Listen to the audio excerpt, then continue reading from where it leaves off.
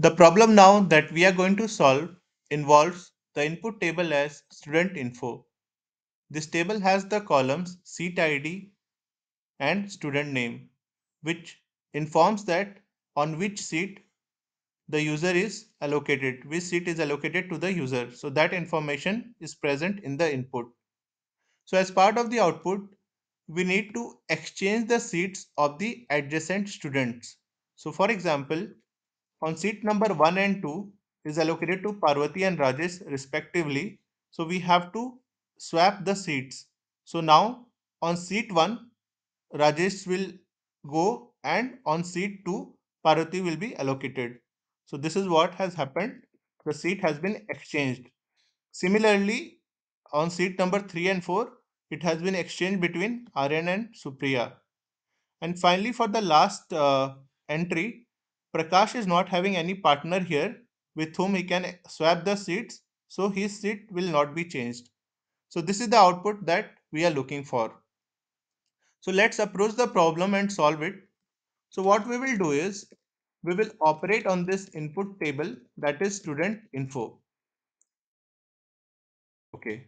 So next what we will do is, for every entry, let's find who is the student seated on next seat ID and who is the student seated on a previous seat ID. So for example, if you are looking for this user, we want to find out who is seated on seat number 4 that is one seat ahead and who is seated on seat number 2 that is one seat back. So for that what we will do is we will use the window functions lead and lag.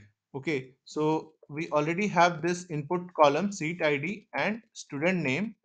Now we will use the lag function to find out who is the student who is seated on one seat ID back. Okay, so in the window, we will order it by the seat ID column.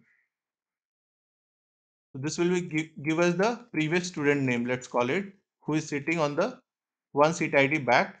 And similarly, we will find the student who is sitting on the one seat ID ahead. So for that, we will use the lead function and this will be the this will give us the next student name the who is sitting on the one seat id ahead.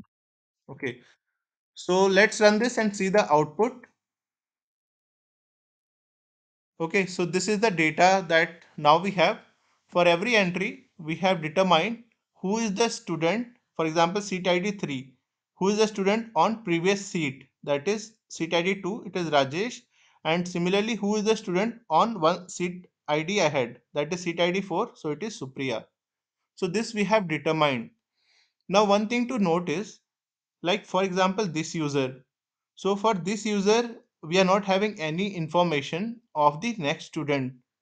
So in such scenarios we have to populate the same student because he is not having any partner.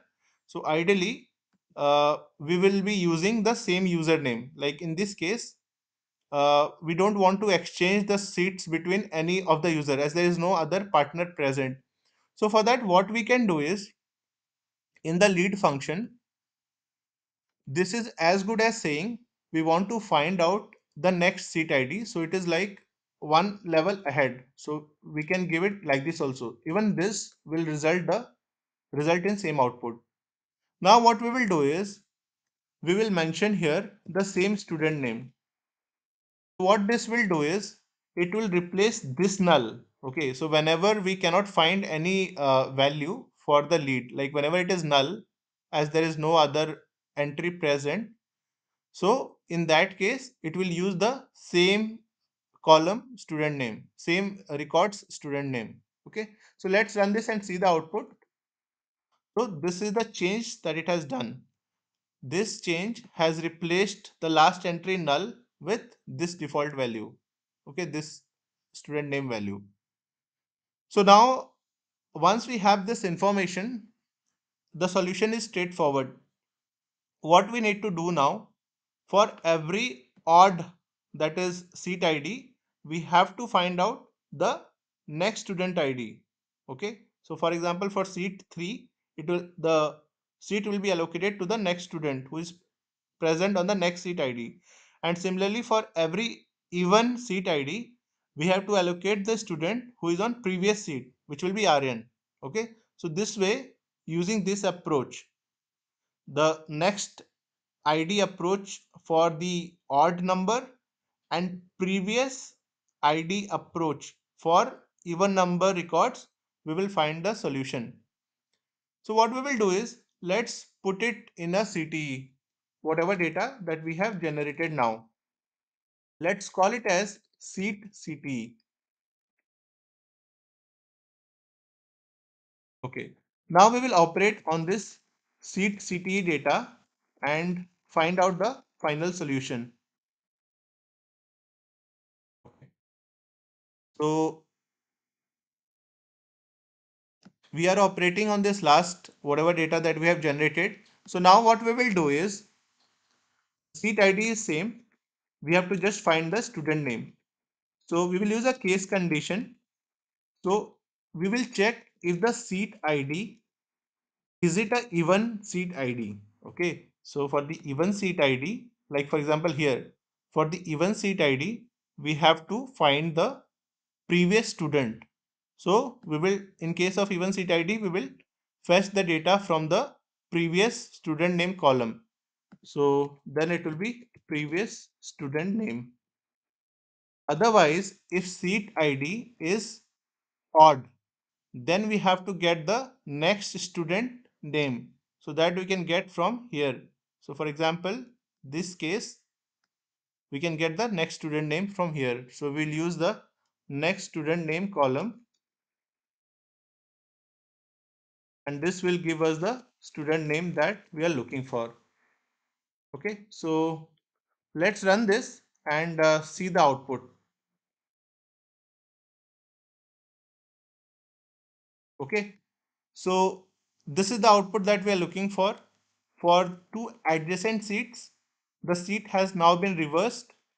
Okay, as we see for seat 1, 2 and 3, 4 as well, it is reversed. And for seat 5, it has not it is the same allocation. It has not been changed as there is no adjacent entry that is present. And this is the query that uh, we have written. So to solve this problem we have simply determined the student who is present on a previous seat using the lag function like one seat id back. And similarly using the lead function we have found out the student name who is one seat ahead.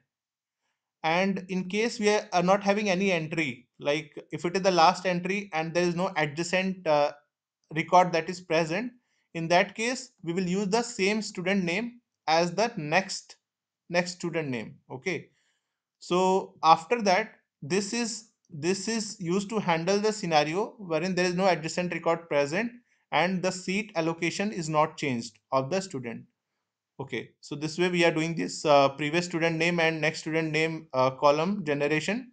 After that, we have to simply check if the seat is even.